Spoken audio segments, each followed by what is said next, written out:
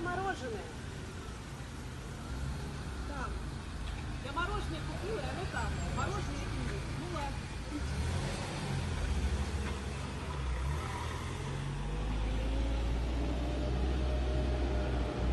Но мы не сомневались в том, что такое будет. Ну, Но все силы вы оставляете на понедельник, правильно? ну, тоже преждевременно еще. Про понедельник говорить. Я думаю, может быть, и по-другому немножко все будет. Угу. Дальше посмотрим. Скажите, пожалуйста, а Иван Иванович вообще думал, что его сегодня отправят домой? Надеялся на это? Нет. Не надеялся. То есть его решение не удивило? У него все хорошо, все нормально. Какие дальнейшие ваши действия? Бороться за честное имя российского генерала.